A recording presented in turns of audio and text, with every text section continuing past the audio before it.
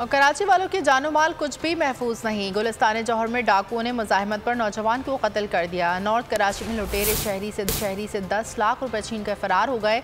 Ayub coat में डाकुओं ने सरेआम भारी असलहे के साथ डकैती की। शहरियों से लाखों रुपए छीन लिए।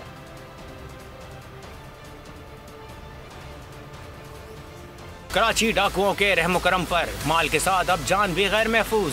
जौहर मोड़ के करीब डकैती के दौरान मजहमत पर डाकुओं ने नौजवान को मौत के घाट उतार दिया।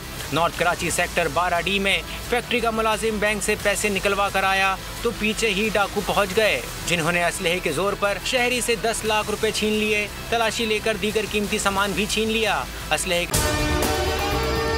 और अगर आपको हमारी ये वीडियो पसंद आई है तो लाइक पर क्लिक कीजिए। के सामने बेबस शहरी हाथ जोड़ता रहा, दुहाइयाँ देता रहा, लेकिन सफाक डाकू इसकी रकम लेकर फरार हो गए।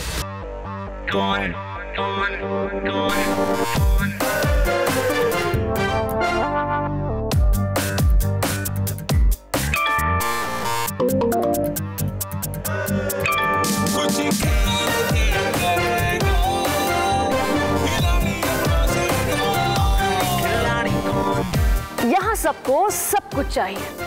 फेम और पैसे हम्म? लेकिन ये सब होगा कैसे? लेट्स फाइंड आउट आखिरी खिलाड़ी कौन?